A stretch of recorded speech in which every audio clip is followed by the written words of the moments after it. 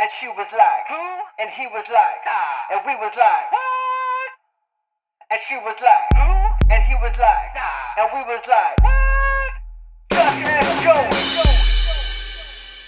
Howdy, y'all. Hope you're all having a great day. Welcome to the Just Ask Joey podcast, episode three. I'm your host, Joey.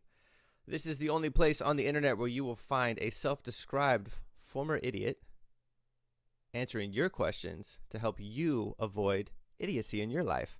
Either you see some idiocy coming, or you're in the middle of idiocy, or you're trying to get over your idiocy. This is the place where you can ask the questions with no judgment, with no BS. I'm not worried about your feelings. I'm worried about you getting the correct answers for your situation to help you get over it or under it or around it or through it and move on with your life. If you are wanting to submit questions, you can find me on right here, Snapchat and Twitter. And submit the questions. You can DM me, so kind of keep it keep it private if you'd like. Um, if you want a shout out, I can do the shout out. If you want me to not mention your name, I can absolutely not mention your name. But I'm here to help, and I wish I had something like this when I was kind of going through my stuff to ask questions to and to uh, get some real life experiences and answers. So I hope that this can be that for you. So today's question is What is the dark side of marriage? This is a pretty big question because marriage is, well, it's supposed to be forever. And if you think about the gravity of marriage, and people look at marriage and people write, write, um, stuff into their marriage contracts that allows for things to happen if things go sour. But really, that's kind of a horrible way to look at sharing your life with somebody because really that's what marriage is. It's it's it's a partnership for life. And if you don't look at it like that, then you're probably not going to have the best marriage ever. So what I think the, the the dark side of marriage is really has nothing to do with marriage itself. It has to do with the individuals in the marriage. Marriage itself is beautiful. I mean, you think about you're bringing two lives together, two hearts, two minds to create one life to create a life for family and a, and a home and, and it's a beautiful thing but people go into it the wrong way and that kind of messes it up. And it's really not the marriage. You can't blame the institution. You got to blame the people who are messing it up. And just because a lot of people mess it up doesn't mean it's the institution's fault. It's there's a lot of messed up people.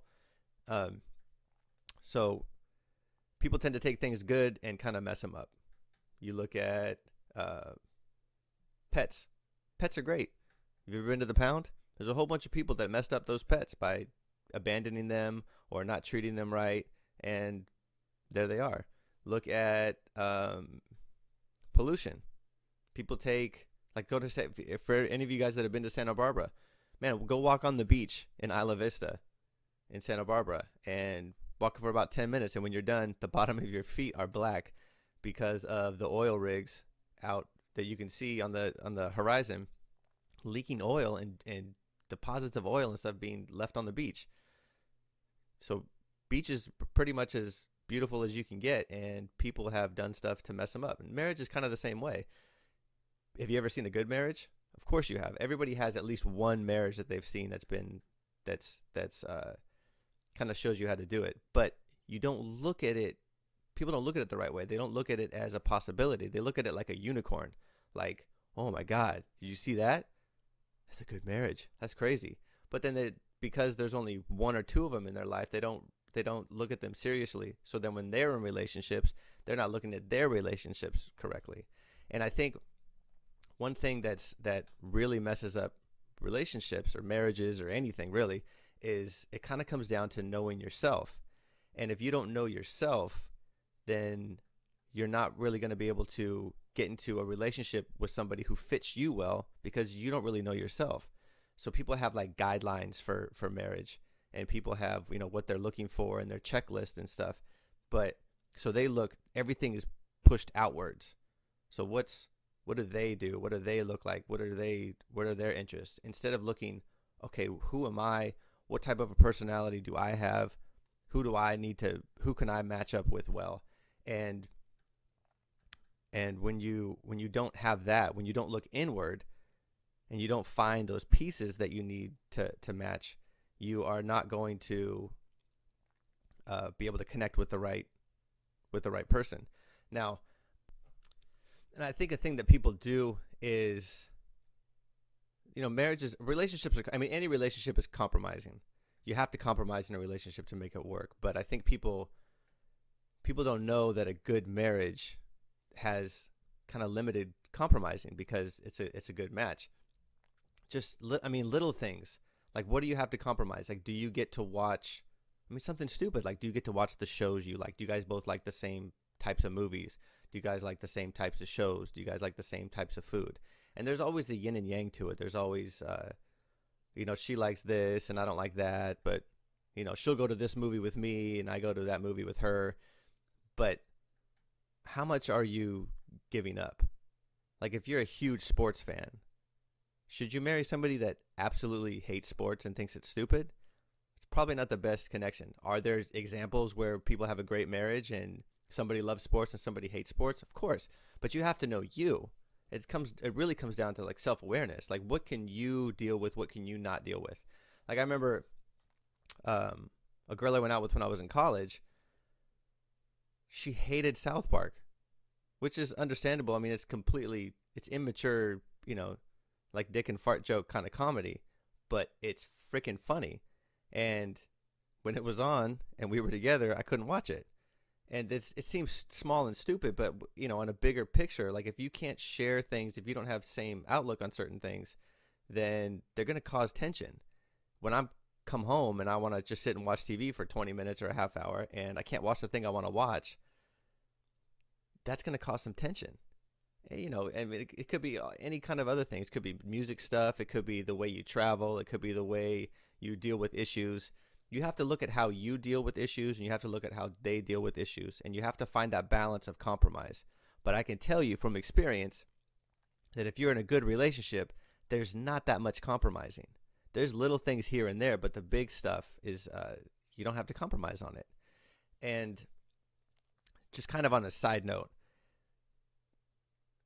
don't mistake excitement for happiness. I think that's another big thing that that people get drawn into with marriage or relationships or other relationships that pull you out of other relationships. You know what I'm talking about? Like no good don't mistake excitement for happiness because there's certain things that you can get caught up in in the excitement of it and the adrenaline and it's releasing all kinds of stuff in your body that make you feel good but it's it's just excitement. It's not happiness. You need to sit back and really look at the situations and really look at the people and decide if if are you happy with them or is it just exciting? Because a lot of times especially in relationships if you take the excitement out of it if you take you know when relationships are new you're partying all the time, you're being social, you're you know, you're hooking up a lot. There's there's things that are exciting about it, but if you pull the excitement out of it, is the relationship still there?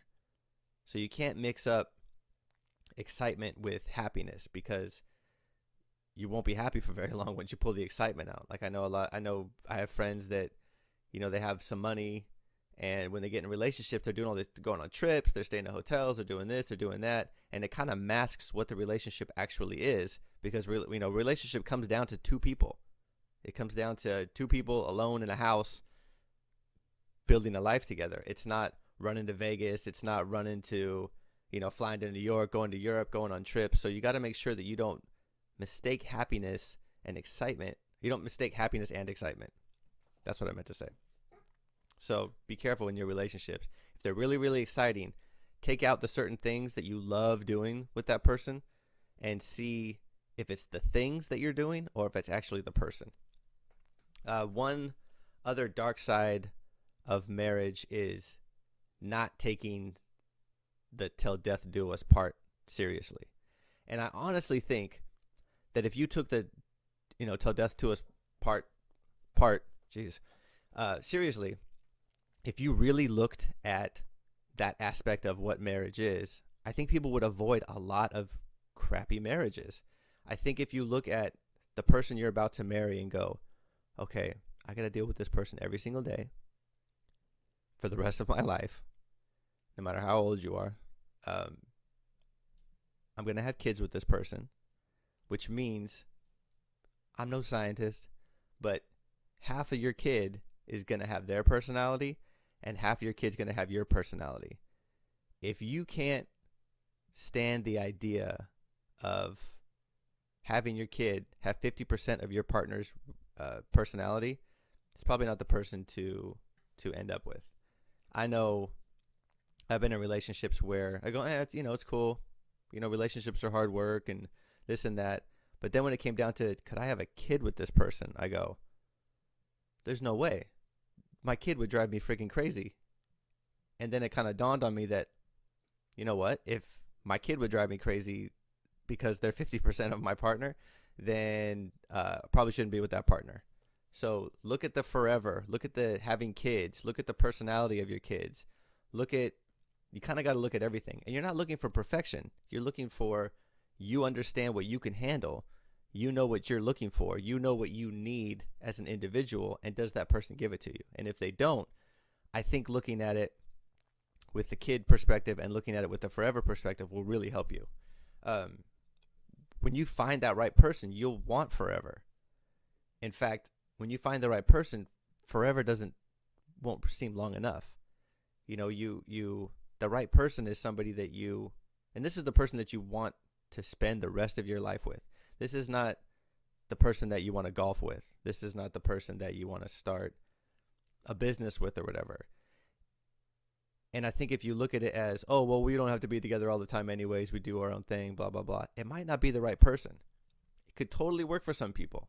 It could absolutely work for some people. But I know for me, from my perspective, from the relationships that I've been in, the person that you should be with forever is the person that you want to be with. The person that that you love seeing, the person that you love sharing uh, your day with, that you love sharing exciting news with, the person that you can talk to. If if the person that you're spending that you're sharing your life with if you can't share those things if you can't if you if that's not the person you want to share them with that's probably not the right person. And it sounds like a really high bar to to set but it's supposed to be a high bar. It's your life. I mean it's your life shared with somebody else and i think if you don't set that bar high then when you when you get into the marriage, you're already kind of thinking of your your out. You're already thinking, eh, well, if this doesn't work out, eh, whatever. Can't look at it like that. If you getting into it, you're going, eh, if this doesn't work out, eh, whatever. Either that's something that you need to work on, or that's not the right person you're supposed to you're supposed to be with. So you like really take a take the time to really reflect on what forever is.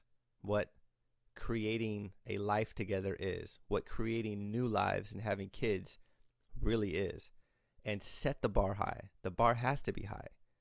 And not everybody is going to find somebody easily. And I think what happens is people get to a certain age and they go, oh, well, I'm a certain age and this person's here, so this person should be my wife or this person should be my husband. You can't go by what societal norms tell you. You have to go by who you are, you have to go by who they are. This whole thing is really personal, but you have to take the time to know who you are personally. You have to put in the work. You have to put in the thoughts. You have to put in the learning. And if you're not going to do that, you will probably end up with the wrong person. So the dark side of marriage is not marriage itself, it's you. And how do you know, how well do you know yourself, which will then allow you to pick the right partner. So if you have any other questions on marriage or the dark side of marriage, or you would like to discuss this more, you can find me on Snapchat, find me on Twitter. You can respond directly in uh, the comments below. And I hope this helps. I can't wait to hear your questions. I can't wait to hear what you think. Here to help. See you next time. And she was like?